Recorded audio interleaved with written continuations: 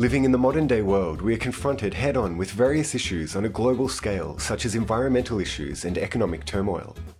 And in order to solve these difficult problems and build a peaceful, promising future, we need highly talented human resources who can fully demonstrate their capabilities in our global society. The mission of universities is to foster these types of human resources and search for academic knowledge that will contribute to the development of society. Global COE program started in 2007 and uh, this was promoted by Japanese government. This program uh, is half the, for the uh, research and half for the uh, human development, particularly for the PhD students.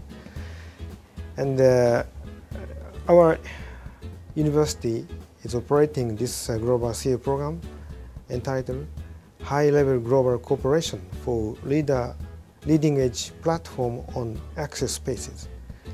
The access space is a very uh, new concept for the future research uh, because the engineering or the technology has been dedicated for mainly for to the industry.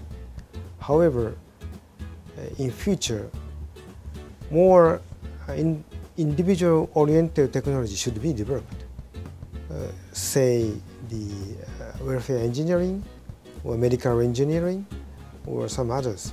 And that was not for the uh, industry development, but the uh, technology for each person or individual.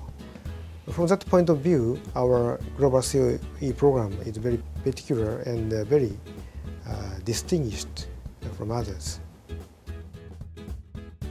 In terms of research, they are striving to create Access Space as a platform for new human-centered science and technology for digital support tailored to human activities.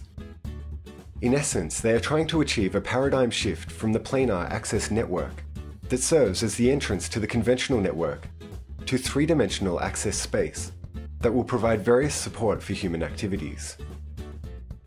As for special efforts, they are advancing with research geared at increasing the synergistic effect of four projects, including basic engineering physics for innovative photonic electronic device creation, environment embedded device technology, real world and real time network for multidimensional processing and communication, and perception and expression technology.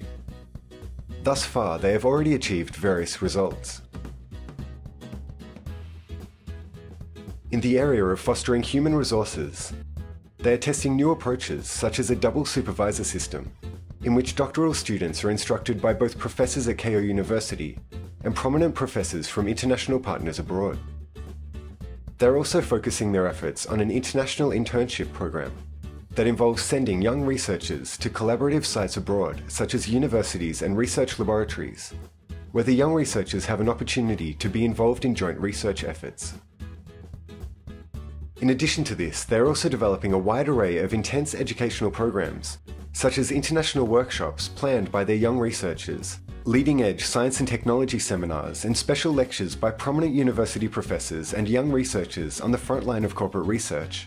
A winter camp where research results from young researchers can be discussed in English in a training camp format, and a PhD forum designed to convey information to the industrial world.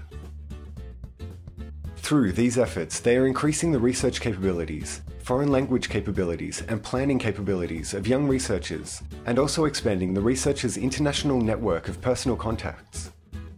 As a result, they are fostering young researchers equipped with comprehensive individual abilities, and then sending those researchers out into the industrial world and academic community.